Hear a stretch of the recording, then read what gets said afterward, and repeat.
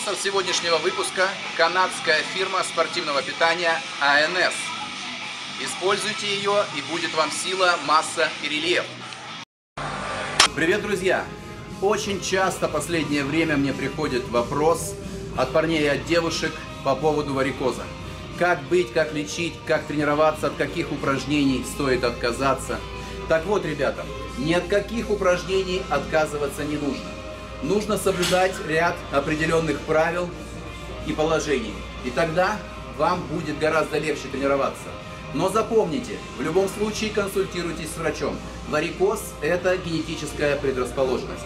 К сожалению, она не лечится, но грамотными тренировками вы сможете продолжать тренироваться, не нанося себе вред, не усугубляя положение. Что для этого нужно?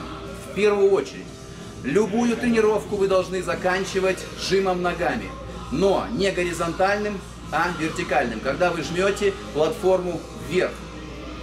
Без веса на 30-50 повторений. Для чего это нужно?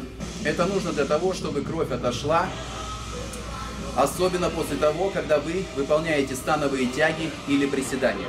И приседания, и становые тяги вы должны выполнять. Но никогда не работайте до отказа. Никогда не задерживайте дыхание. Никогда не натуживайтесь. Применяя все эти простые правила, вы сможете грамотно тренироваться, сохраняя ваше здоровье. В конце тренировки обязательно, без разговоров, полежать 5 минут вверх ногами.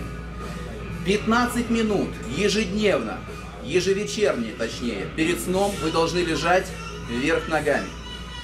Гулять вечером 20-30 минут и выполнять растяжку на все тело. Выполняйте все эти простые правила, и вы сможете тренироваться, вы сможете прогрессировать и не слушайте врачей, которые запрещают вам тренироваться.